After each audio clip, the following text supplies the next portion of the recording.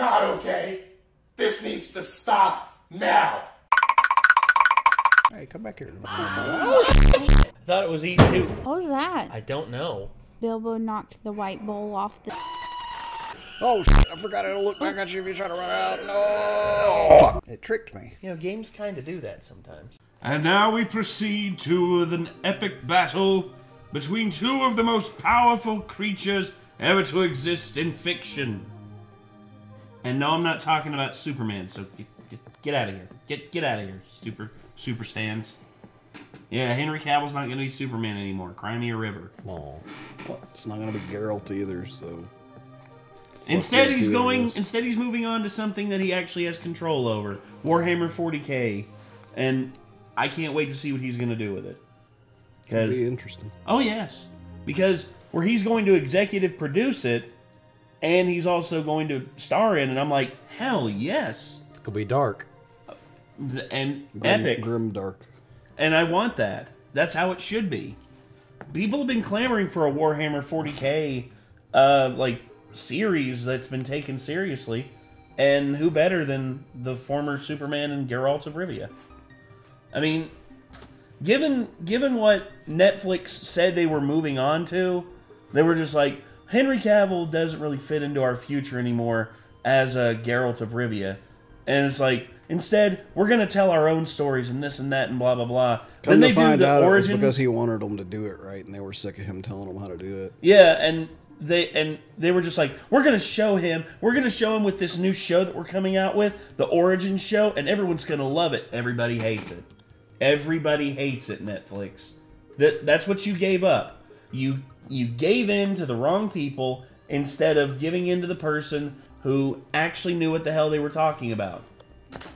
I mean, They're talking all kinds of shit about him, about how he's like the worst person to work with, just literally because he wanted them to make it a good show based off the books and the game. Like no, it's inspired by the books and the game. And it's the producers being pissed off the fact that their vision of the show isn't a hit. And it doesn't help that it was a woman that was in charge, so they're trying to say he was misogynist by not just listening to her and doing everything she said. Yeah, and I just don't understand this shit, dude. It's like, look, if someone's unhappy, your like your lead actor is unhappy, and he's a fan of not not just the games but the books as well, and has read them, you know, cover to cover multiple times, getting ready to portray this character, and you're just like, no, we're just gonna do our own version of it, and uh, you know, people don't like it, they don't have to watch it. It's like, and then when people don't watch it, you get pissed off. You're just like, why aren't pe- why aren't people liking what I put out there? Like I don't. It must be because I'm a woman or because I'm of a race that is not white. I don't know anyone that's like, yeah, I'm gonna come out for you know season four that doesn't have Hen- Henry Cavill in it. I'm I'm not down for it. Me neither. I'm I I have We nothing. reacted to everything up until this point, so if they put out a season four, then that's a different series. We're not reacting. I'm not reacting to it. I'm not reacting to it. Nate can. I know, fuck that, dude. You think I'm gonna? You think I'm gonna give those bastards my time, even though, like, after all that, after all that, you know, they've done to Henry Cavill? Fuck them. I mean, look, I like Henry Cavill, and I really wish he could have stayed as Superman, but I find myself agreeing with James Gunn we need to start over because nothing has nothing like truly overwhelmingly great has come out of what is what's been pushed out of the DC expanded universe other than Aquaman, Shazam and the first Wonder Woman movie. 3 films out of how many? Like 10? And like he still said, like it's not 100 percent that Cavill won't return as Superman, you know, but he's going back to like his origins when he's younger, so he wants someone younger to play him. and why not? I mean, and And like I, I think he he could absolutely bring back Cavill and Jason Momoa and everybody like later on, you know, and just like, Probably. restart the the lore, you know. Yeah, and I just think that it, given the mess that that they found themselves in, you know, trying to go with the Snyderverse and then doing like a weird like anti-Snyderverse, but then redoing the Snyder cut of Justice League, which I'll be honest with you guys, eh, mid seven out of ten. I know there's some Snyder heads that got pissed at me over that because when I expressed Like, like I'm not gonna be as excited about it. They were just like on the Snyder Cut trailer that I released. They were just like, it's like, it's like these guys are just gonna be so blown away. Like they're gonna be eating their words. And then when the movie came out, someone actually was like on the the reaction. There's like, I bet you all feel stupid now. And I'm like, yes. and I'm just like, I, I literally typed to him. I'm like, eh, seven out of ten. It was it was. I mean, it's better than the original. That I will admit that. I- I will admit it is better than the Whedon cut. But it wouldn't. It's not that hard to be better than the Whedon cut. But still, though, there was there was so many people. There's still people who are clamoring for the Snyder verse to be restored. I'm like, it's over. Let it go. Zack Snyder's moved on. Other people, like other people, are in charge now. It's over. Let it go. Ah. anyway, though, enough about enough about Superman and Henry Cavill and all the drama of the real world. Let's get None of into that was related to what we're actually watching today. yes, it is because Superman has fought Go- Goku twice and Well, has won indirectly related. I guess. indirectly. Yeah, and I, I I'm gonna make a, a I want to do something. I want to say if the winner of this should fight Superman, I would be down for that because, dude. Uh, as they always say, comics are going to win every time because they're at a different level than anime. So I know, I know. Silver Age Superman is is God, basically.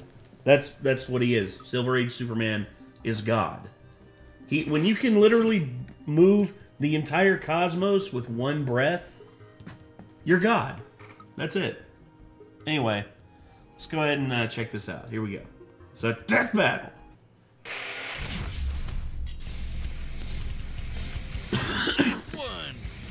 Things are so easy to find nowadays. Yes! Now, with this ultimate power, I can finally conquer Have the Gogeta world. fight Vegito! Oh, what? Oh, come on! It's the ultimate Dragon Ball question! Which fusion of Goku and Vegeta is stronger? Gogeta, the combo greater than legends, or Vegito, the mix who surpassed gods? Intriguing. They are in many ways identical, yet still quite different. Though in canon, they only have a collective total of three brief appearances. To truly determine who would win, let's examine all of their material. So that's Z, GT, Super, movies, games, guidebooks, toys, Twitter, even all the crazy Xenoverse and hero stuff. Hold on to your Dragon Balls. He's Wiz and I'm Boomstick. And it's our job to analyze their weapons, armor, and skills to find out who would win a death battle. yeah, I still couldn't fully tell you right now why it make why they have two different fusions when the, the two same dudes fusing into together. It's the earring, the Potara earring, and the dance. oh, I thought it was like universally accepted that the earring was a less strong version of the actual fusion dance. I thought that was like well established in Dragon Ball Z that the earring was just for people who couldn't pull off the fusion dance. No, the fusion. No, the Potara earrings were reserved only for like the Kais, so that the Kais could combine and fight threats as one entity. Hmm. I don't know. I guess my memory's off, but I thought for some reason that I remembered that when they used the earring, that was like a fusion that was just because they hadn't learned the fusion dance, and then whenever they actually managed to pull off a fusion via fusion dance, it was like far more powerful than what they got, what the result they got with the earrings. But Well, it, uh, there's probably a whole lot more that's happened since then. That's just could have Well- gone either direction. That I I've only ever seen Z up to like Also- not even the end of it. so. also the Potara earrings are potentially permanent, but they've separated in the past in various ways. But I, I guess they'll get into that whenever they show it. Imagine it's 1995 and you're at a movie theater in Japan. You're there to watch Dragon Ball Z Fusion Reborn, and it's gonna be the most radical movie ever, dude. I mean, yeah, it was a little weird when Adolf showed up, but then Boo. it happened. Goku and Vegeta were pushed to the brink with only one option left. They merged into a single being of amazing power, Gogeta! And that would be the greatest thing eight-year-old you ever saw.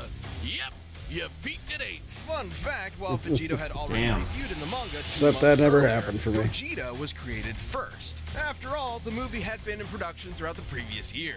Two Saiyans, the proud son of royalty and the lower class champion becoming one epic powerhouse? This is the true potential of Goku and Vegeta. Easily a top five Dragon Ball moment. Hey, nothing beats the first time we saw Super Saiyan, but, but I think this comes close. Yeah. Method of fusion Super was Saiyan was- by was the the most insane shit ever. alien people who we never actually see. But I'd guess they like wearing crop tops with inflatable shoulder pads. Anyway, when Goku taught this fabled technique to Goten and Trunks, it was the most beautiful thing I'd ever seen. This is the fusion dance. On top of an incredibly precise movement routine, this technique requires both parties to match power levels in order to fuse successfully. A literal personification of the phrase, only as strong as the weakest link. It's pretty Forgot about the fat version. Like, it's like homeboy been uh, homeboy been hitting them pierogies pretty hard, huh? to screw up. I was gonna say, man, Gotenks went to Krispy Kreme, and he shut down the Krispy Kreme.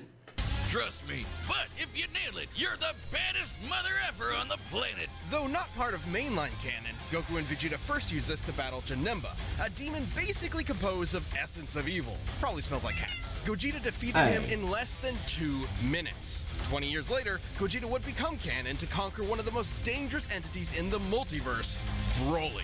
Obviously, Gogeta's super powerful, but I think his most underappreciated skill is how he comes up with awesome attack names. Like the Big Bang Kamehameha, Stardust Fall, Meteor Explosion, and the ultimate villain killer, Stardust Breaker! A fancy looking attack that completely obliterates all traces of evil within a target. That's how it took out Janemba in one shot. The guy was literally made of evil. Or can Damn. Weirdly enough, this is similar to Devilman's Devil Might Be, which causes the evil within a person to explode and Oh, you mean Spike? That guy's hilarious. Which obscure character are you gonna reference next? Icarus? Sour Man? General Rildo? Oh man, that guy's just one letter up from General Dill. Over the years, Gogeta has achieved the empowered forms of Super Saiyan, Super Saiyan Blue, and even Super Saiyan 4 in his battle against Omega Shenron. Super Saiyan 4 is a totally unique branch of transformation. Instead of using Divine Ki like Super Saiyan God, it taps further into Goku and Vegeta's Saiyan bloodline, giving them fuzzy red fur and teen goth eyeshadow. Goku has also claimed this form increases a Saiyan's inherent aggression, though you wouldn't know it with Gogeta. He basically becomes Dragon Ball's Bugs Bunny, reveling and messing around with his foe any way he can. Until the fusion runs out.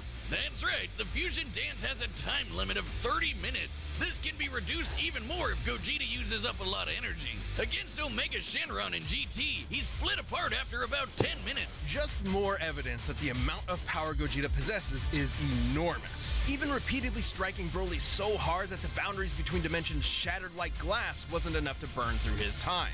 Hell, he was only in Super Saiyan 1 when he did that. After going blue, Broly didn't stand a chance. Based on earlier in the film, Whis' reaction even implies that Gogeta could possibly take on Beerus. In Dragon Ball Heroes, Gogeta continues to prove he's one of the multiverse's S tier fighters. He even defeated the Crimson Masked Super Saiyan Rose Full Power Goku Black and Ultimate God Slayer Hearts the God Hater. You, you know, those guys. And two Gogetas together could take on Fu. Just, just, just Fu. After all that, he's just called Fu. Dark King Fu, the artificial bio-android demon mutant. Well, Fucking name. That is one of the most metal names, but at the same time, that's a mouthful. Dark King Fu, the artificial bio-android demon mutant. It's kind of like Bakugo's hero name ideas. Yeah. Lord Murder Death. Yeah.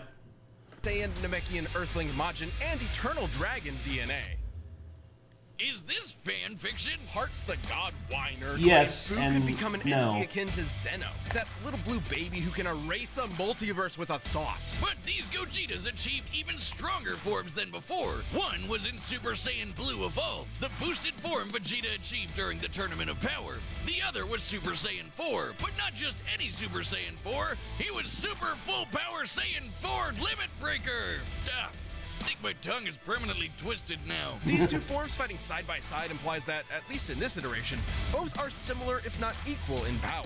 Ah, Gogeta's so cool! And there are tons of people who think he'd win this matchup. In Weekly Jump issue 28 from 1995, the fusion dance was stated to unify Goku and Vegeta's spirits and draw out their power to the max. As long as a fight with Vegito lasts less than 30 minutes, the magazine says Gogeta should win. And then in the video game Raging Blast, there's a what if scenario where Gogeta beats Vegito in a sparring session. But he was about to run out of energy, so maybe it could have gone either way. Though with his power and skill, it's unlikely any opponent would push Gogeta to his limits. Two of the greatest warriors in history merged together as one. What more could you want as a fan? And what more could you fear as a foe? So yeah, that's. I mean, Gogeta pretty powerful, man. Gogeta is pretty insane, but there's there's a side that they didn't mention that was that was brought up in uh, Dragon Ball Super, uh, Ultra Instinct, because Ultra Instinct Goku and Ultra Ego Vegeta are like, uh, on top of being Super Saiyan, that that's like that adds to their power even more. And I, I'm sorry, but that that Ultra Or have they fused when they've been using that? Is the thing. I don't think they have though. That might be why they didn't bring it up. Mm, probably. It's the spring of 1995. A demonic menace has threatened to consume the world in chaos. Goku and Vegeta were pushed to the brink with only one option left fusion! They used one of their most incredible techniques to become a merged being of unimaginable power. Does this sound familiar? But there wasn't time to teach Vegeta an awkward dance routine he'd ultimately despise. Instead, they used the Potara. Only the gods themselves could rock bling like this. That's right, the Potara earrings come from the Kais, the gods that supervise the universes. By placing one earring on each person's opposite ear, the Potara forcibly fuses the two beings together. No power level matching required. Looked In like those two case, gods Goku- there were doing a, quite a bit of supervising, weren't they? Oh yeah. Oh yeah. Well, that's why most of them died from Majin Buu. Goku and Vegeta fused to become Vegito. Okay, seriously, Vegito? Couldn't they have a better name? Eh, it's not that bad. And remember, Fusion Reborn started production well before Toriyama penned Vegito's first appearance. So, uh, Toei called dibs on the better name, huh? But still, shouldn't it be like Vejiku? Not like that's much better either. Why Vegito? It makes more sense in Japanese. Vegito is formed from the first half of Vegeta and the latter half of Kakaroto. This is why Viz Media actually translated it to oh. Vegerot. Oh, that one sucks too. Yeah. I'm bored now. Let's talk about how he blows shit up real good. Vegito has numerous techniques that are entirely his own, many of which are fittingly perfect combinations of Goku and Vegeta's signature moves, such as the final Kamehameha. What about Formed like Veku? Viku, uh, Veku? Veku would have been decent, I think, maybe. Yeah. Veku, Veku, I think would be a good, would be a good one, a good short version. So it's balanced. It's got two letters from the beginning of Vegeta and two letters from the end of Goku. Or uh, Gota, I mean, Goku, Vegeta. I just assumed they wanted to start with Vegeta on this one because it was a different kind of fusion than the Gogeta, you know? yeah, probably. Vegeta's final flash, but fired like Goku's Kamehameha way. He's got a Spirit Sword, the Saiyan Shield, and the Banshee Blast. Which, no, it's not the ghost attack you're thinking of. With Goku and Vegeta's powers combined, Majin Buu was no match. Super Vegito was so friggin' powerful that even being turned into candy didn't slow him down. it just made him delicious. His level of power had transcended to such an impressive degree that he was capable of effectively ignoring having his matter entirely altered and his DNA eradicated. He continued on as the incredible fighting candy. No mouth, no brains, no organs of any kind, and he still kept slapping around that big pink ass. Uh, phrasing. Right? Yeah, I was Presumably, gonna say. similar to how Vegeta overpowered Babidi's mind control, or how Goku broke through Hit's time skip with Kaioken. A greater power level can overrule basically anything a weaker one does. Though, to be fair, the Super Candy is a pretty extreme example. But Vegito's a pretty extreme guy, even for the Dragon Ball multiverse. He later got that godly blue hairspray and beat the crap out of merged Zamasu, a double deity. Like a fusion dick measuring contest, but not at all close. Though similar to his dancing counterpart, Vegito's time ran out after he overtaxed himself. Which was kind of weird.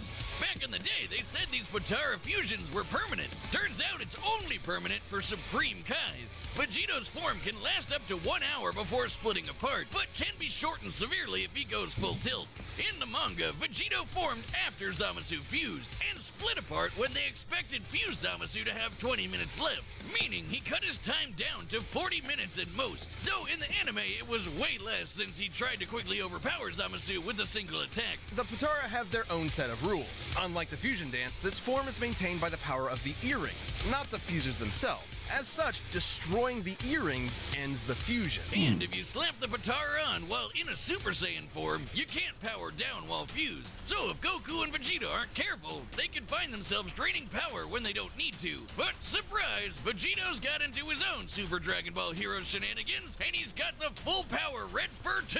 Look, Wiz, I think I'm having deja vu. Aside uh, from Fu, he's battled heavy-hitting threats to the multiverse like Cumber and Mechikabura. And just like with Gogeta, there's plenty of people who think Vegito would win this fight. Daizenshus 4 and 7, basically two Dragon Ball encyclopedias, claim that the Potara fusion is superior to the fusion dance. Old hmm. Kai said this too. No, see, that's the Potara opposite of what I thought they said. Though they So that's the opposite of what I thought I remembered from Dragon Ball Z. But okay. Hmm. They both may be referring to what was believed at the time to be a permanent fusion. Not having to worry about overspending your time limit would certainly be a greater effect if it were true. But hey, there's nothing that can get in the way of Vegito's awesome power. Gods and demons alike are no match. When there's no one strong enough to save the day, then perhaps two will do. Perhaps. This show is sponsored. All right, the combatants are set. We've run the data through all possibilities. Hear my wish, Eternal Dragon. It's time for a death battle! All right, gentlemen. Who you got? I can't make a guess this time. Well, I mean, it's the s- it's the same guy, right? Yeah. I mean, it's the same two guys. It's just The differences are like how long the fusions right. can last. Well, so one can go for what thirty minutes, and one goes for an hour. I'm going with the guy that go for an hour. okay. I mean, Makes sense. because otherwise they're the same dude, basically. But destroying the earrings can undo it. So, That's true as Well, well. that's true. which technically it's a death battle. So if they destroy the earrings and split them apart, but don't kill them, wouldn't that render the battle moot? Potentially. Because they're no longer fighting like Vegito at that point. They would be fighting Vegeta and Goku. Like it would be a death battle versus Vegeta and Goku, so it wouldn't be who won in the battle to the death between the two. I'm getting real technical with it. Know what I mean? Yeah. I don't know. I mean, I would probably say So uh, Mike has probably got the correct logic. Like I would say, if they can go longer with the earrings, they're just gonna probably base the win on that.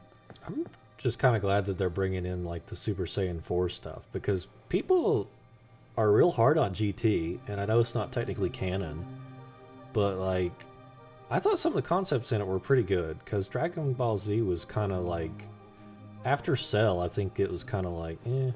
well, it started getting a little goofy in the Boo Yeah. saga. Come to find out, the Boo saga is actually not canon either. Oh. I didn't actually know that until I think Bone told me like last year or so when I was watching Dragon Ball. Um Finally what? watching Dragon Ball for the first time. Huh? Apparently, the Boo saga is not actually in the manga. It's not canon. Um no, it's it's it's there. That's what I was told. Also, I like the Super Saiyan 4, like it picked up on like, oh yeah, the Saiyan is a different species. Like we're gonna kind of Yeah. Manga. Yeah, the Boo saga is it's in manga. I don't know where Bone was telling you that. Guess he lied to me. maybe he didn't know. Maybe. But yeah, the Boo sa- like the whole Boo saga. Wait, wait, wait. Hang on, hang on. Now I remember now. I was looking it up. I was looking up a watch guide for Dragon Ball Z, and it was basically like, yeah, the canon ends at the end of the Cell Saga. And he was Someone, like, yeah, the Boo okay, Saga's whoever made canon. that's probably just a fan of Team Four Star, and because Team Four Star is not doing the Boo Saga, like they're just like, oh, it must not be canon. Yeah, yeah, whatever. I love Team Four Star, but you know, uh, the Boo Saga is Boo Saga is hundred percent like like canon because there's some really awesome stuff in the Boo Saga, although it does get a little goofy sometimes. GT, I do agree with you, Micah. There are some concepts in it that are really good. I loved, uh, I love the Super Saiyan Four idea. and like the like the idea that like oh you've been misusing the Dragon Balls, so they're gonna fracture, and there's like this evil side to Shenron. I'm like that's Yeah. super cool. And then of course, uh, Baby. I liked uh, Baby Vegeta, like like when Baby had like taken over Vegeta. Oh yeah, I thought that was really cool. I I didn't really. I was kind of ambivalent about Goku getting turned to a kid because it's kind of felt like a throwback to Dragon Ball, but I didn't think it was necessary. That was that was silly on so many levels because let's let's be honest here. We don't need Goku as a kid again. No, We already had that. yeah. So that was kind of weird. And plus it and plus it being uh uh Pilaf just uh, was like, oh come on, dude, really? It's like I remember it's like I wish you were a kid again. It's like, Whoops. oh boy. That's very strange. I. I feel like timelines just shifted and changed again since I Probably so. had that conversation like last year. Yeah, probably. I mean, the Large Hadron Collider needs to be shut off. You damn it, had the collider. you tumbled into this stream from the dark timeline. Yes. So you're both going Vegito, right? I mean, otherwise that seems like the only difference to me. That's really all I know to base it on. Like, Okay.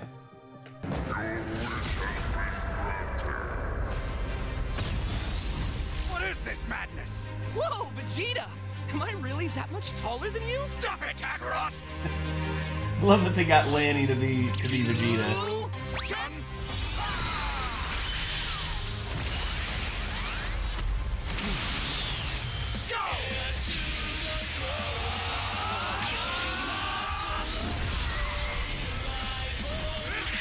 I'm gonna say the lookout will not survive this.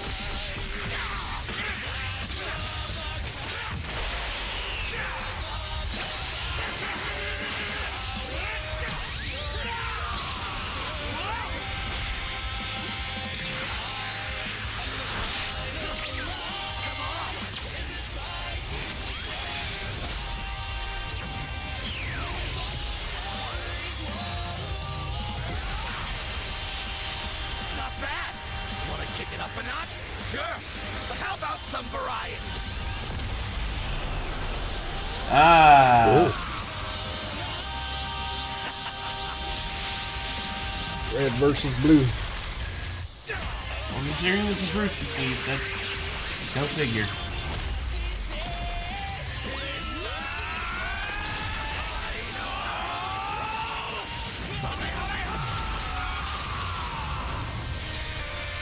Snake Way. Hell yeah.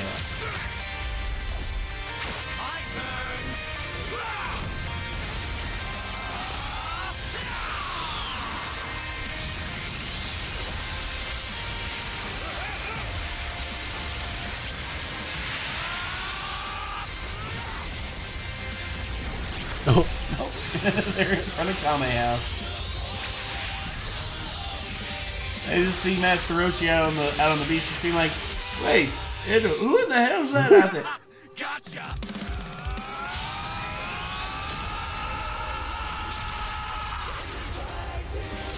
Oh, in the time chamber now. Guess it's now or never. Oh,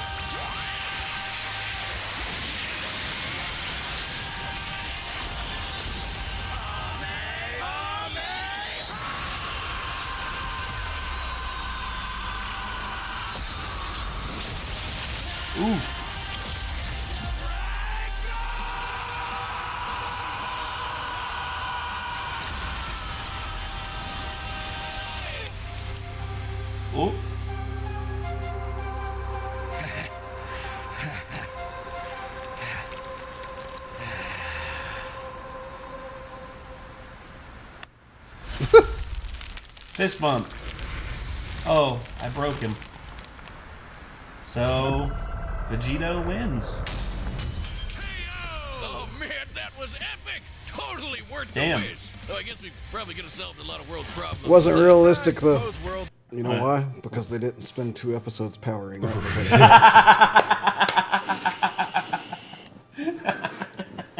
Krillin didn't roll in with a Senzu bean. Sabine. Oh gosh. Oh, that, that's one of my favorite bits from uh, Team Four Stars.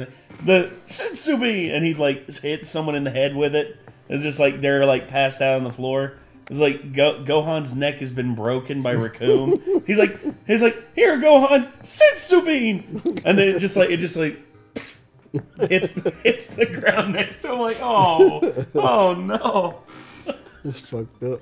And then Goku, then Goku rises like, "Here, Gohan!" Picks him up, and you hear Gohan's neck like snapping while he's got it in his hand. He's like, he's like, "It's okay, kid. Hey, wake up." He's like, "Go, Goku, give him a senzu for God's sakes." He's like, "Oh yeah," and then he gives it to him. and He wakes up. He's like, "Huh?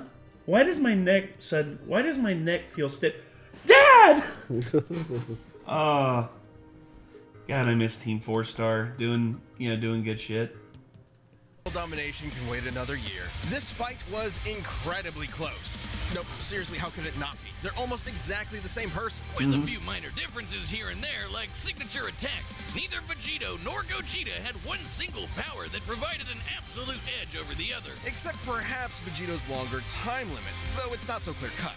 Both have overtaxed their energy quick enough to end their fusions in less than 10 minutes. Time isn't the only factor, but also whatever is maintaining each fusion Gogeta's body and Vegito's earrings. It's possible Vegito's power can actually drain the Potara faster than Gogeta's does his own body. Still, it's twice the time, and that definitely gave Vegito more flexibility and strategy. So, more often than not, it's safe to say Gogeta would run out of juice first. Also, when Vegeta or Gogeta diffuse from power overuse, it's typically difficult for them to immediately fuse again due to that lack of energy. But Vegito had another one over Gogeta. No matter what, he'd always have a very slight power advantage. Remember how the fusion dance requires the fusers to match their power levels? Well, the Potara don't need that. Goku doesn't need to match Vegeta's slightly lower power levels, so there's nothing stopping Vegito from combining the full sum of their parts. Ah, poor Vegeta. You'll get your day in the sun one day, buddy. Oh, who am I kidding? This might be what No, he Kai was referring to when he said the Potara had a greater effect. But hey, could Gogeta have destroyed the earrings? Nope. He would have had to be able to overpower Vegito first, like how Goku could only destroy Kefla's earrings after he reached Ultra Instinct. Remember, when comparing levels of power in Dragon Ball, the greater one can overrule almost anything the weaker one does. The earrings likely tend to be protected by the user's ki aura, similar to their clothing. The only time we've ever seen Potara damaged or specifically targeted are when the wearer is overwhelmed or in a vulnerable state. If any stray ki blast could destroy them, we'd have a lot more broken earrings by now. Lastly, Makes there's sense. some debate over their personalities. In their first appearances, Vegito seemed rather cocky and playful against Boo, whereas Gogeta was far more deliberate against Janemba, and thus far more successful. However, these are not core personality traits, and assuming so would be inconsistent with Vegito's serious fight with Zamasu and Gogeta's more brash fights with Broly and Omega Shenron. Context Yeah. is key. As far as personality and mental ability goes, Gogeta and Vegito are practically identical. In the end, Vegito's higher power level, no matter how slight it was, made a big difference in protecting and maintaining his longer, more flexible time limit. Gogeta was gonna need meta more than that to beat Vegito. Sorry, Wiz, I know that pun was potarible. Wait, shut up. Earth's Dragon Balls give two wishes, right? Oh, yeah. Hey, Shenron, I wish for you to fuse me and Wiz. Damn it! Oh, dear. Vegito. Oh god, I can only imagine what that's gonna look like. I don't think we're gonna get to see. Matchups chosen by our champions. I just saw. Let's see what you picked. I did too. Bill Cipher. Oh Cipher. god. Oh. Bill Cipher versus Discord and Alex Mercer versus Cole McGrath. Oh, nice. Dude. Bill Cipher all the way. Who is Discord again? Uh, I think it's a My Little Pony thing. I don't know. Oh, okay. So I don't really. Care I don't care. I, I, I. Alex, Alex Mercer, Mercer versus Cole McGrath sounds cool though. Yeah, basically, uh, Because those were very similar games around the same time, you know. I'll. Uh, I'll I mean, I was a bigger though. fan of Infamous. The Infamous games are better put together, Yeah. but but the um, I forget what they're called. The Prototype. prototype. Thank you. But prototype one was really good. I liked prototype one a lot. Uh, the second one, I was like, I, I was hit or miss with it. But still, those are some great matchups. Anyway, though, yeah, that those yeah, that was a good death battle. I mean, a very close one, but I really do think the the the right one won because you know an hour long time limit on the on the earrings is really the only advantage that Vegeta would have over Gogeta. Mostly this death battle made me just want to go back and actually finish watching all the Dragon Yeah, Ball I- Z stuff I haven't seen. I kind of feel like they were just like jackpot. This is just an excuse to do a lot of really cool animation. yeah. Because why not? I mean, yeah, it's it's Toei. Toei for Dragon Ball Z. Toei will do anything for that show because it it's what sent them over the like over the moon in terms, especially in the United States. I think he was talking about death battle though. Oh, Death Yeah. Battle? Or, or I thought you were talking about. Uh, sorry about that. Ugh. Sorry, my brain. I'm like I'm still cooked from the last two weeks. versus Vegeta was an excuse to do a lot of really cool animation. Basically. Yeah, yeah, fair enough with that. I wonder what all they're going to like. I I mean, this is sort of like a final battle for uh, like Dragon Ball Z characters. I wonder what they're gonna pull next for if they ever do Dragon Ball again. I mean, I, feel like they're just There's such a huge cast in Dragon giving Ball. them more forms. I mean, I mean, Omega Shenron versus uh, uh who would do good against Omega Shenron? Hmm. I don't know. I mean, like they just keep getting more forms now. It's like there's like Black Frieza and Gohan Beast, and oh, that's right. Yeah. Orange Piccolo. Like, Orange Piccolo. I forgot about that. I mean, they just they find a new threat. They get powerful with some new form. Like, I mean, that's just This is true. This this is very very true. Oh God. So It's like the Energizer Bunny. it keeps going and going and go mm-hmm. until it gets shot by Charlie Sheen in Hot Shots Part Two. Somehow there's still less episodes than One Piece.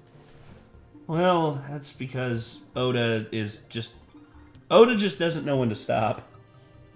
That's what I'm convinced From of. what people talk about with it, he apparently has more ideas too. So, Well, than just new form, more galaxy destroying capable enemy. Well, Toriyama, I mean, I mean, leave it to Toriyama to just keep coming up with crazy stuff to do with his characters. Huh. Dang it! Bless you. Thank you. You know those sneezes that just take too damn long to get to? It's just like it's like it's like. Just hurry up, damn it! Shit! yeah. That's basically where I was with that. So yeah, this was this was a good death battle overall. I'm really happy with it, and I can't wait to see more. I mean, Bill Cipher versus Discord. I might just watch that because you know I love Bill Cipher. He's one of my favorite villains ever. And then of course Alex Mercer and Cole McGrath, two like 2000, uh, late 2000, early 2010, uh, like big heroes on uh, on on the various platforms. So I think that um, those two may be. Uh, I, I'm not 100% sure, but I have like this feeling, and I haven't ever really heard it analyzed, but I think they may be responsible for the really good superhero games we've gotten since then. Because they were good superhero idea, like style games, you know? yeah, And then after we got, I believe it was after that we got Arkham or Arkham Asylum as well as Spider-Man, obviously later on. let's see. When did uh, prototype game series? First one came out 2009. And when did the first Infamous come out?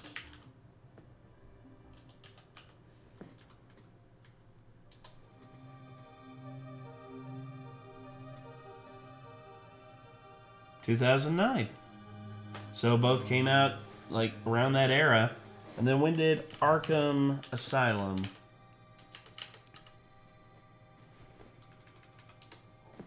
There it is, 2009 as well. God, 2009. So maybe not great year. directly responsible. But uh, well, no. Well, definitely say- though. After like the more open world of uh, like Infamous, it's possible that Arkham City was inspired slightly by that. Probably.